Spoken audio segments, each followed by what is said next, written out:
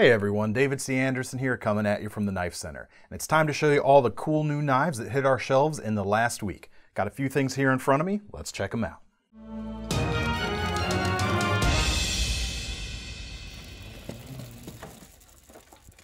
So with just the things I've got here in front of me, it's gonna be a little bit of a lighter week in terms of quantity, but we've got some really high profile items to hit our shelves. And the first one is the new ZT Model 230. So normally when ZT releases stuff outside of the typical show schedules, we usually expect it to be a sprint run, but that's not the case with the 230. So this is a non-locking knife. It's designed by Jens Anso, or Jens Anso, however you want to pronounce it. Pretty sure it's Jens, but maybe he'll comment at some point and let us know whether we're right or wrong. Um, but it's a cool little non-locking knife. It's not quite a slip joint because it doesn't have a back spring. Uh, the way this actually functions is if you look in uh, from the front, it looks like there's two different liners, uh, almost like a, you would see on a liner lock on each side. They don't ex exactly, or they don't actually engage the tang of the blade, but both of those strips of metal uh, act on the side of the blade as a dual detent system. So that gives it a little bit more strength than a single detent. And this is gonna be really hard to see on camera. I'm not sure we're gonna be able to get it um, because even just looking at it, it's kind of a, a, a, hairline sliver as, as the knife is open, but once you close it, both of those detents push back up into the, the carbon fiber handle scales. It's pretty cool uh, the way they've managed to do that and the way they've managed to get that amount of rigidity and tension without the use of a, of a typical slip joint leaf spring here on the back. Blade itself is this cool sheep's foot profile, CPM 20 CV steel, and it's got a little bit of a light stonewash finish to it and it's 2.6 inches long. So it comes in under three inches and it's non-locking. So this is a knife that is gonna be a good choice for knife restrictive locales, whether you live, especially places in Europe that restrict blade length and locking mechanisms, it's gonna be really cool. And unlike other non-locking knives, unlike most other slip joints, leave it to zero tolerance, they found a way to make a non-locking knife flip closed almost like a flipper. That's pretty cool. Um, it's got a nail nick here, but even without it, it's still fairly easy enough to pinch out here. Opens the blade neatly. You do have a half stop as well, achieved by those dual detents in there. Um, and the other cool thing is the blade, uh, the presentation side is actually clean. There's no ZT logo on there. Um, there is some branding on the back. You've got the model number, the steel, uh, the made in USA, um, etc. on the back. Uh, but the logo itself, you've got zero tolerance along the spine, which is pretty neat. That way they're able to keep that blade clean, has a bit of a classier look, um, and then a, a nice blue uh, backspacer with a lanyard point. Um, pretty sure this is a titanium backspacer. Let me check that real quick. Nope, not titanium. It's actually an anodized aluminum. Um, but it looks really cool. You're not really going to be able to tell the difference when you're carrying it anyway. Um, but yeah, essentially we've got a flickable closed slip joint or not a slip joint, whatever you want to call it, non-locking knife from ZT. And it's kind of, it's easy to do that flip too. It takes a little bit of practice to get it to close all the way, uh, but the edges of the spine are nice and chamfered, creates kind of a luxury touch there. Uh, and prices right now on this, 180 bucks. So next up, we've got two new knives from Spyderco this week. Uh, and both of these, let me grab my example here, are based uh, or is an, are they are an expansion of the family that started with the Spyderco Efficient folder which is a budget-oriented uh, model. Um, it's a good size. Uh, it's got a full metal backspacer. They've essentially taken this knife and created a larger version, and that one's called the Emphasis. You can see it there next to the Efficient. And they've also done a smaller version known as the Insistent. So each one of these, uh, both models are available with a plain edge or a partially serrated blade. They both come with black G10 handle scales little bit of texture. If you're familiar with, say, the Spyderco Tenacious, it's essentially got that same kind of texture, uh, same amount of texture to it. Blades full flat ground. We're at 3.6 inches around, uh, just about on the efficient or on the emphasis. It's hard to keep track of some of these Spyderco names sometimes. Uh, and the assistant, insistent, yes, the insistent, uh, we're just under two and a half inches, which is another great length uh, for certain areas. Um, but both of them are really nice. The blades uh, are full flat ground, 8CR13 MOV steel, um, which is their solid Spyderco's solid budget option on these Chinese imported knives. Plenty of length on the handle, even without using the forward finger choil on the emphasis. I can still get a full grip, but then you've got that signature choil where you can choke up on. makes it real easy to control that tip, finer control, and more length if you're wearing like bigger gloves, especially work gloves. I could see being the case with this knife. You can really get a full handle length there. The Insistent really needs that finger choil to have a full grip because it is a smaller knife. Um, but be, because of that, you know, this happens with a lot of Spydercos, folds up really nice and small. Doesn't take up a ton of room in your pocket. It's a little bit thicker. It's not a super slim carry like say the Benchmade Bug Out, which check out our Knife Center exclusive, very cool knife. Um, but it's still gonna carry very easily um, because it's, it's short when it's folded up but folded out, you get a, a solid grip because of the girth. And that's backed up a little bit too, because both of them have that full metal backspacer, provides a lot of strength. The liners themselves are nice and thick. They're not skimping there, um, which helps especially on the liner lock, which is also very easy to disengage when you want to, because you've got a nice big finger cut out for your thumb to, to disengage that knife or that blade. Um, and then the only place they differ from the emphasis is we've got a uh, the reversible wire deep carry pocket clip rather than the um, standard folded clip that came on the emphasis. Um, both of those, both of these, or sorry, that came on the efficient. Again, sorry, hard to keep them tra keep track of them. But both of these, the bigger and the smaller now, come with that uh, wire deep carry pocket clip. Prices on these uh, start about 41 for the insistent, up to 52 for the emphasis. So the other big news this week is definitely the first set of fixed blades from Victorinox. These are the Swiss Army guys. Now these were actually uh, made for Victorinox by Muela out of Spain, so this isn't a Swiss-made knife. Um, but it's in addition to being their kind of big for or big push into fixed blades, they went with some bushcraft designs. We've got two here. We've got the Master Mic Large and the Master Mic Small. It's MIC uh, and what that actually stands for is micarta. The handles have a blue and black canvas micarta layering. We've got some nice red liners as well. And the contouring is really good. It fits the hand super well, really locks in quite nicely. Uh, the blades themselves were at about 5 32nds of an inch thick on the Master Mic Large, and of course it comes with a Scandi grind, as you can see. And there's just a hint of a kind of a convex micro bevel right at the edge, that's gonna make it a little bit easier to sharpen and a little bit stronger in the long run than a true down to zero Scandi. And that's the way folks like, um, you think of guys like LT Wright, that's the same way they do their Scandi edges, and they're well known for being excellent cutters and being very durable. So I don't see that being any different here. So the steel itself is stainless. It's German 4116 stainless steel. So that's contrary to popular belief that uh, some folks have been saying that this is not actually the exact same stainless steel that Victorinox uses for their Swiss Army knives, for their pocket knives. It is a little bit different. Not the best edge retention in the world, certainly, but it is going to be very stain resistant, very corrosion resistant, and touch up easily in the field. Combined with that Scandi grind as well, where you can uh, lay that flat on the stone and really feel that bevel, it's going to be very easy to keep this knife hair popping sharp, certainly. We've also got an extended pommel, an exposed uh, extended tang here at the butt of the knife. That's going to do a couple things for you in an outdoor scenario. One, you can of course use it for thumping. You can crack some things open. And if you ever actually need to drive this into something, it's very rare, but it does happen. That's going to protect the handles of your knife if you need to hammer on the back of that just a little bit. The sheath it comes with is Kydex. Snaps right in very nicely. We've got a big um, tab here with a nice drop leg system, as well as a slide lock here. So you unscrew that, push this up near the top and lock it down. And that's gonna help secure the knife from being uh, accidentally pulled out. Like you're, you really do have to push that back before you can pull the knife out. So it also comes with a simple fire steel here on the side with an included fire steel loop. Um, and it's a lot like the, uh, the original Light My Fire fire steels, the old version, uh, in terms of how the handle is shaped. And you got a nice bit of red paracord here to go kind of coordinate with the liners. Um, you've also got a drain hole in the bottom of the Kydex sheath to help moisture drain out when you're, uh, if you're in adverse conditions. Moving on to the small, you can kind of get an idea for the size comparison here, um, which I, I, think is important because a lot of places that have been covering this on the web um, have shown photos of these side by side and they've got this way too big compared to the large. So that this here really gives you an idea of how big the Master Mic Small is.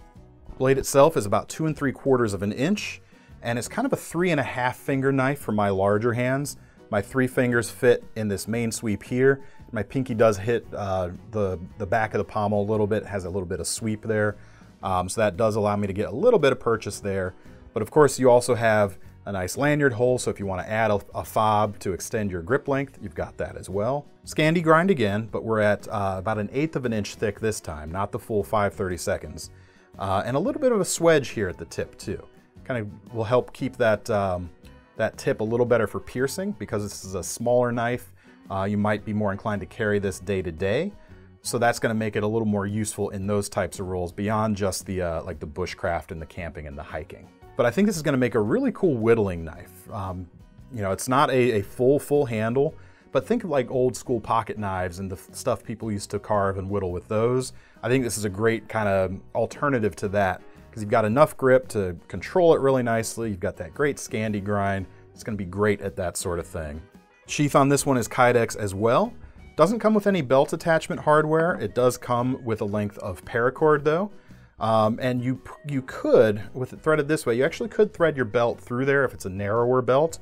Um, and actually, even if, if you extended this down to this hole, the holes here at the back, or bottom I should say, uh, you might be able to fit a larger belt too. Or very easy to add your own paracord and carry it inverted uh, for neck carry. Prices on these guys were at about 120 on the Master Mic Small and about 200 on the Master Mic Large. So that's not all the new Victorinox this week. We actually have a Swiss Army knife. It's the it's a special edition actually. It's the Ranger Grip 55 Autumn Spirit. Uh, and that gives us a real cool orange coloration um, instead of the standard red to the Ranger Grip series.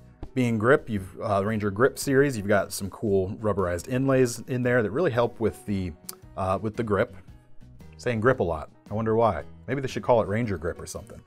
But it's got a really nice blade on it with the standard Victorinox stainless steel, not the 4116.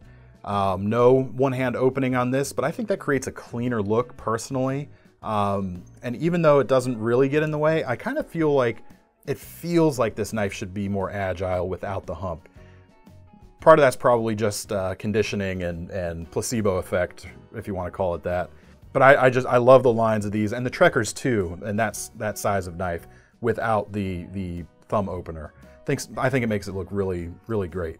Um, unlocking on this, this is a liner locking knife, but it's disengaged by the button here, so you can see the liner move when you do that. Makes it very easy to close. And then you've got a nice wood saw, very effective little cutter, especially on this, this slightly larger size. And that's a non-locking tool. Then of course your standard bottle opener, screwdriver, as well as can opener screwdriver. On the other side, got an awl and a corkscrew and your toothpick and tweezers in standard Swiss Army fashion. Even comes with a cool little kind of camo paracord lanyard to throw on the back if you want. Um, so they're really cool. Um, the red and the yellow versions of the Ranger Grip series have always looked nice, um, but the orange is cool. Like it's, I'm, I'm kind of surprised they haven't done it before. Uh, and we're right about 60 bucks on that knife. So we've also got a new version of the Victorinox Swiss card multi-tool. This is the Spring Spirit pattern. Um, kind of a neat print. Um, they definitely, you know, there's no way, two ways of getting around it. They are clearly gearing this more towards female customers. And for folks out there with the holidays coming up, this is gonna make a great gift for your significant other, I think. You got a lot of cool uh, implements in this slim plastic housing. It can live in a wallet, in a bag, in a purse, um, all kinds of little places actually. Um, and it's a fixed blade. I just love that. You do get that, that little kind of pen blade that slides out of there. But in addition to that, you've got a nice pair of scissors on the end here, as well as your toothpick and tweezers. You've also got a nail file, the small sewing pin, and also their ballpoint pen cartridge. And this is a pressurized cartridge, so it's, so it's similar to say like the Fisher Space Pen out of there. You can write upside down with it without uh, losing ink flow. Um, but that's a great little way to kind of have another writing implement on you with all these other tools. Uh, and you've also got ruler mechanism on the side here. The, on the angled side here, it's centimeters, and on the back, you've got inches. It's about three inch graduations there. Um, if you don't like the this specific print, we've got other versions, the standard versions with the red scales and some other uh, options as well. Uh, but this one right here that's new is about 32 bucks right now. So next up is a new Kizer and it's the Domin Mini. Obviously a scaled down version of the original Domin, but this thing uh, in this mini size offers a really great EDC friendly size. I'm saying size a lot, but that size is just relative, so it doesn't matter. Uh, but the mini version, we're at about just under three inches of blade length. Again, a great option if you have a blade length restriction. Um, a couple different colors, blue, black, and purple. Steel itself is N690 and it flicks open very nicely. It's not a flipper, so you don't have uh, that little protrusion sticking out, makes it a little more streamlined in the pocket, but the dual thumb studs work great for sure. Um, stonewash finish on the blade, I don't remember if I mentioned that. A really usable and simple drop point shape overall, and it feels really good. It feels nice in the hand. Um, obviously, it's not super girthy, so it's not going to be as comfortable really bearing down on some stuff, but a great size and shape for EDC. You can see it's a liner lock, although the, the G10s actually are, are more like onlays than they are the actual handle scales. Um, an argument could be made that this is a frame lock covered up. I'm not necessarily going to make that argument, um, but I will say it's a nice beefy liner lock. So you've got a lot of material behind the blade itself to hold it open. Two position pocket clip as well, not deep carry or anything. Uh, and you've got a little bit of a lanyard attachment point at the back. Now, just from a head-on uh, shot, it looks pretty narrow, but it's actually scalloped out of the back. So instead of going straight through, you'd kind of be threading it in a U shape through there. So you do have a little bit more room in there to move to move your material through than it would appear from first glance. Kizer Domin Mini, 55 bucks, really cool knives. So next up is a new Spartan fixed blade, the new Harsey Dagger. Obviously by the name you can tell this is a Bill Harsey design whose pedigree is is pretty unimpeachable. His track record of fantastic designs is is impeccable, and this version of a combat dagger is his take on exactly what that knife should be, refined down to it's just the best elements and the most desirable shape, size, weight that you could have in that style of knife. We've got two different blade finishes. Now these are PVD coatings, and we have the flat dark earth as well as a black blade. And then each one of those version, each uh, color is available either with a Kydex sheath or with a nylon sheath for a little bit less money. The handles are G10, and you can see we've got some cool radial milling, and the, the hourglass shape to it is really cool. It feels really good. Um, indexes pretty nicely in the hand, and it tapers here at the front to make some good pinch grips. Um, again, I'm not a am uh, not a tactical guy. I'm not tactically trained, um, but it, it's one of those knives that feels incredibly balanced and, and incredibly quick if you want to really use it fast. In trained hands, I'm sure it's going to be very formidable indeed. Another cool thing about the G10 scales is they actually cover up the tang of the knife completely, so you don't have any metal sticking out. It's a very smooth transition from one side to the next. It's very cool. Now, even though there's no tang sticking out on the sides, you do get a little bit of a protruding point here at the back. Again, similar to that Swiss Army knife that you can use that for thumping on things. not going to tell you what. Um, as well as if you need to hammer on the end of that, it's going to protect the handles itself. It's just some really cool shape, a really cool hourglass shape to that hand, those handles. Just feel fantastic. It is a double-edged blade, obviously. Um, I mentioned the coating, I didn't mention the steel. This is S35VN. Being a Spartan, that's not entirely unexpected. You've got that double upturned guard as well, and a fair bit of ricasso here that doesn't have an edge, and that should be useful if you have it lodged in a target. You can kind of get your thumb or your finger in front of the guard to help pull it out. Now here's the sheath, the Kydex sheath option that you can get it with. It does click in very nicely, and you've got plenty of hole spaced patterns here.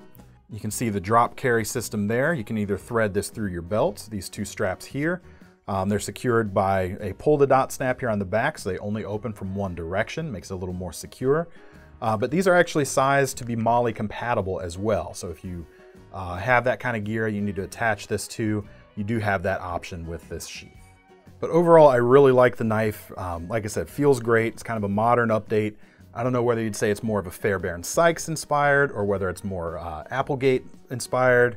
Uh, let us know what you think. Uh, but we're at 390 on this knife, US made for the nylon sheath versions and 420 for Kydex.